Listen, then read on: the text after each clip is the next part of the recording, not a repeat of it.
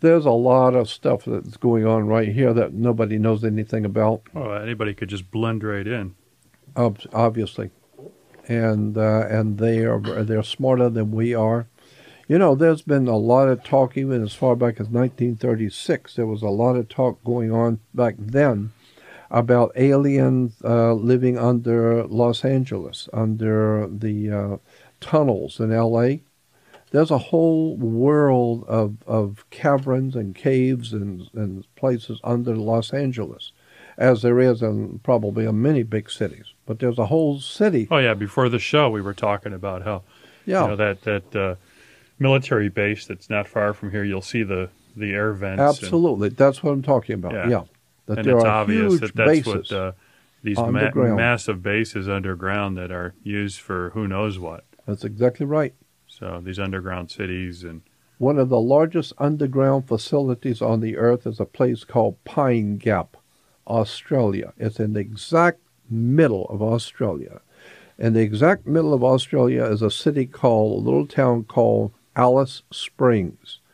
And under Alice Springs, way down a mile or so down under Alice Springs, is a city, a whole city that the United States Air Force, the CIA, Britain, I think Germany is involved in it too, have a base that is so large. They have a downtown, they have shopping. I heard that they have electric cars down there. It's a huge uh, operation, military city underground in Alice Springs, uh, which is in the middle of Australia, about a mile down.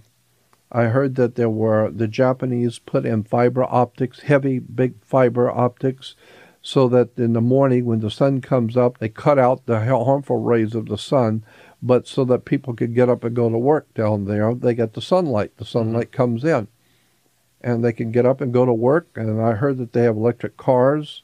They raise their own food down there. This is in Alice Springs, Australia. It's called Pine Gap. So go on the go on the web and go look up the, the word Pine Gap, Australia.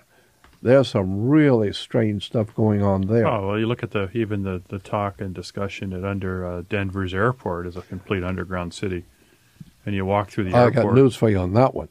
Yeah. I I had a lady who was working for, um, uh, working on the Denver airport when it was first being done, and and she was working downstairs under the airport, and she videotaped for about a half hour videotape of all the construction going on under the Denver airport when it was being done. It's supposed to be a mega city under there. It's a huge operation going on underground, incredibly large, huge, big uh, sixteen wheelers, big double semi tractor trailers, uh, tractor trucks bringing in supplies from all over.